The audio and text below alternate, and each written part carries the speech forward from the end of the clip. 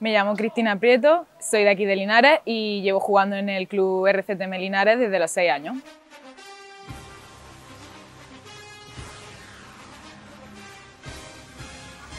Bueno, pues esto fue un poco por casualidad. Eh, realmente mi padre había jugado desde que era joven, pero yo esto no lo sabía a los 6 años. Y bueno, fui a una fiesta de cumpleaños, había una mesa de tenis de ping-pong y pues empecé allí y me gustó Total, que se lo dije a mi padre y pues él tenía amigos de cuando él jugaba y pues así empecé. Así me puse en contacto con el club y pues con, los con mis seis años vine por primera vez y hasta ahora.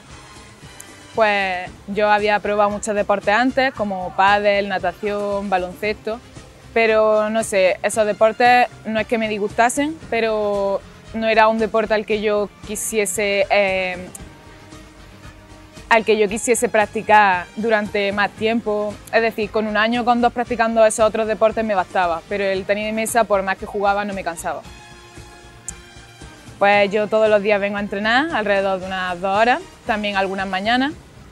Y bueno, aunque eh, con, con Almudena, con Esteban, siempre hemos estado aquí entrenando todos los días, también pues va habiendo extranjeras de vez en cuando diferentes pues la verdad es que viene genial, eh, tanto con los externos como con las la jugadoras extranjeras.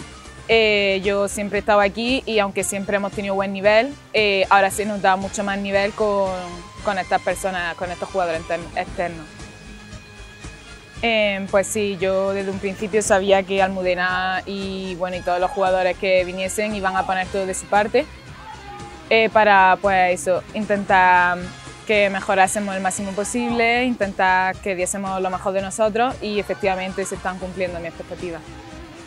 Eh, pues la verdad, eh, yo quiero seguir jugando liga. Mi objetivo a largo plazo es no parar de jugar al tenis de mesa porque mucha gente, sobre todo cuando se va a la universidad, lo hace. Yo no quiero que eso me pase precisamente, yo quiero intentar mantener al menos mi nivel, no, no pido mejorar, solo al menos mantenerlo para poder seguir jugando la liga que juego. Y aunque yo sé que es difícil vivir de esto y que lo más seguro es que no puedo hacerlo, pero yo mi objetivo a largo plazo es eso, compaginar estudios con, con el deporte. Pues yo creo que, bueno, que el club, que siempre lo ha dado todo por mí, em, pueda cumplir también los objetivos que tiene, como son, por ejemplo, llegar a la máxima categoría masculina, eh, llegar y mantenerse como está ahora en, en Liga Europea, es decir, pues lo que quiere el club eh, que se cumpla. ¿no? Sí, yo la recomendaría claramente.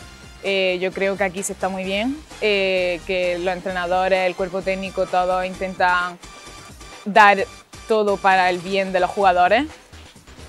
Pues nada, que muchas gracias a todos los que siempre han estado aquí en el club desde siempre y a los que vienen de fuera